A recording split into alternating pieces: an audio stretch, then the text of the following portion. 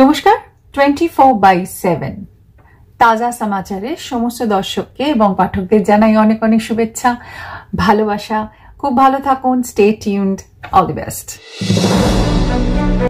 बहुत जल्द रिलीज होने वाली है टोटा रॉय चौधरी अभिनीत फिल्म ब्यूटीफुल लाइफ हाल ही में फिल्म का पोस्टर फिल्म से जुड़े सभी कलाकारों की उपस्थिति में जारी कर दिया गया है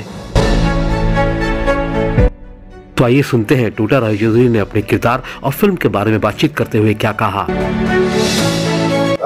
এই মুহূর্তে আমরা টোটা দাকে পেয়ে গেছি টোটা দা এখানে রাহুল নামের একটা চরিত্রে অভিনয় করেছেন আহ, টোটা দা তুমি একটা মানে স্টেটমেন্ট দিয়েছিলে মানে প্রথমে আছি তো মেকআপে মানে মেকআপ করার পর তোমাকে চেনা যাচ্ছিল না লিটারালি কি বলবে প্রথমে এই ব্যাপারে আহ, দেখো আমি যখনই কোনো ছবি করি প্রথমেই আমি বুঝতে চাই যে আমার পরিচালক কি চাইছে তো যখন আমি আরডির সাথে কথা বলি আরডি একটা কথাই বলে যে দেখো তোমাকে তো আমরা একটা রূপে বহু বছর ধরে দেখেছি। তো আমি এইখানে তোমাকে যেভাবে দেখতে চাইছি সেটা অনেকটা এরকম। তুমি কি রাজি হবে? ও প্রথম ছবি। আমি বললাম যে হ্যাঁ কেন হব না? তুমি ডিরেক্টর তোমার সাথে আমি কাজ করতে রাজি হয়েছি। এবার তুমি আমাকে কীভাবে সাজাবে কীভাবে তুমি দেখতে চাও সেটা আমার জানা দরকার এবং সেটা আমার করা উচিত বলে মনে করি। তো ওর ওই মস্তিষ্ক প্রশ্ন হচ্ছে এই পুরো সাজগোজটা। দাদা এই ক্যারেক্টার খুবই চ্যালেঞ্জিং ছিল। তো কি ধরনের মানে এক্সপেরিমেন্ট তোমাকে করতে হয়েছে আর কি?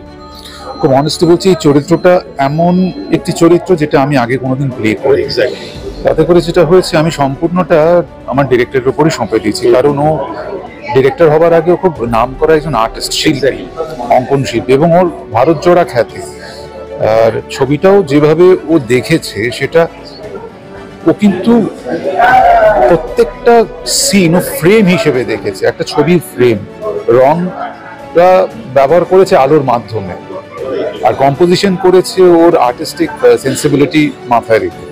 তো এই ধরনের কাজ আমার কাছে এটা প্রথমবার যে একজন আর্টিস্টের সাথে কাজ করা, সে কীভাবে ফ্রেম সাজাচ্ছে, কীভাবে চরিত্রকে দেখতে চাইছে এবং খুব পার্টিকুলার ছিল রং, পোশাক এবং দৃশ্যে কে কোথায় থাকবে সেটা নিয়ে। কারণ পুরো ফ্রেমিংটা ওর আহ, ও- ও সেরকম মানসিকতা নিয়ে করেছিল একজন শিল্পীর মানসিকতা নিয়ে।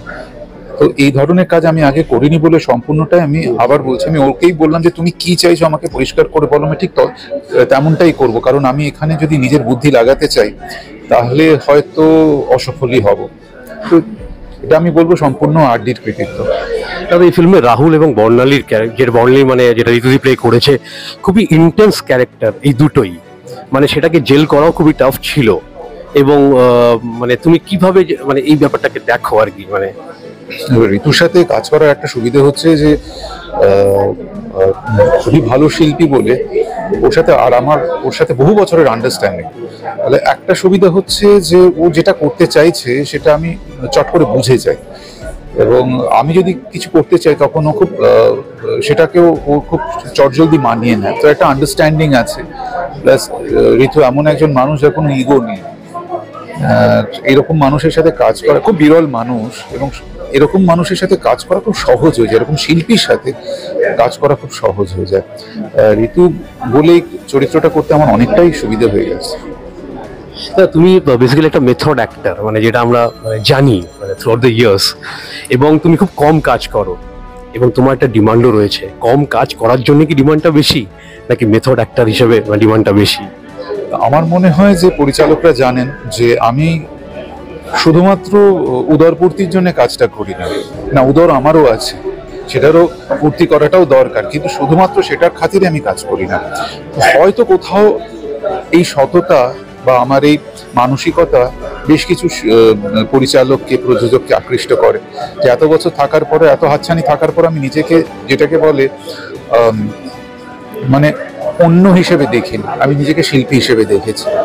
হয়তো সেটারই কিছুটা ভালোবাসা মানুষের আশীর্বাদ আমার দর্শক, এত বছর ধরে আমার সাথে আছেন এবং অনেস্টলি আমার দর্শক, আমার সাথে সাথে আমার, ওনাদেরও বয়স বেড়েছে, আমার যেরকম দাড়ি পেকেছে, ওদেরও মাথার চুল পেকেছে, গত কুড়ি পঁচিশ বছর ধরে ওনারা আমাদের সাথে আছেন এবং আমার দর্শক লয়াল আমার সাথে বরাবর থেকেছে।